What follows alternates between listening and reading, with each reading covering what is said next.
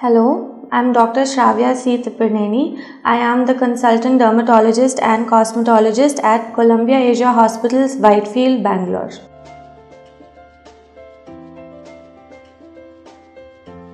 There are uh, very many treatments available for psoriasis today. There are topical treatments, there are oral medications, and there is phototherapy, and a lot of newer modalities as well. Topical treatments in psoriasis are the mainstay of the therapy and are extremely effective.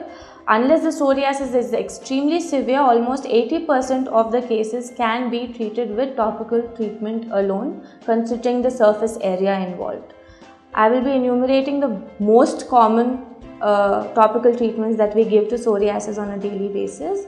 Um, the basic one is coal tar ointments or shampoos or other formulations which help uh, remove the excess scales that are formed in psoriasis.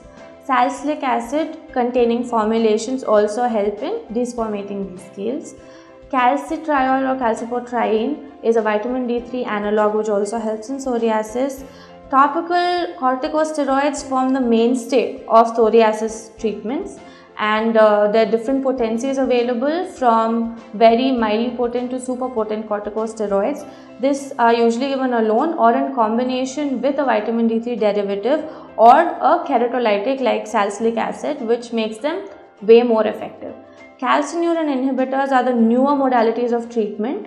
Tacrolimus and pimecrolimus are the newer drugs which are also given in psoriasis. This is always accompanied by oral medication if necessary depending on the number of flares per year, what is the extent of body involvement in psoriasis and a whole of lot of other parameters that your dermatologist will look into.